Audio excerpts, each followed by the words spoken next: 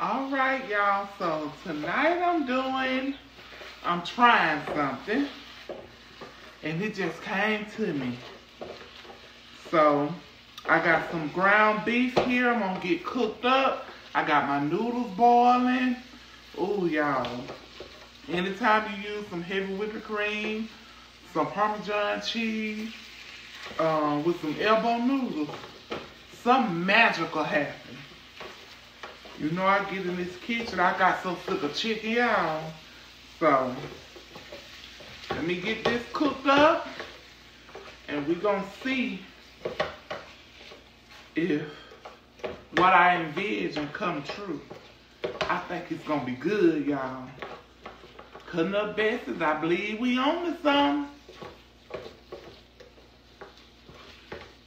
I sure think we on to something. All right, so we're finna get started. So you're gonna need you some heavy whipping cream. Okay, that's enough. You can always add more. Um, you're gonna add to some Parmesan cheese. Let me go get my salt. All right, I'm back. I'm back, I'm back. Add to some salt, not much. And then we're gonna give this a quick stir. And that's just to get us started, y'all. And before we add the cheese, we're gonna let this come to a boil because this gonna go fast. It's gonna go fast. Like I said, you may have to add a little bit more. So, yeah, we're gonna get that to a boil and I'll be right back. I promise you. All right, now it's to a boil. We're gonna add cheese. And we're gonna stir, stir, stir. When we add the cheese, we're gonna add us some smoked paprika. And it's just to give it another color. You add that, we're gonna add some more cheese, but we wanna go ahead and add some now. Okay. Now we're gonna go ahead and add some of the seasoned hamburger meat. And we're gonna do it in, in sections and add some of your cooked elbow noodles. Okay. And then just fold it in. And just keep on doing that. And then we just gonna keep doing it, keep doing it till the pot fill up, fill up.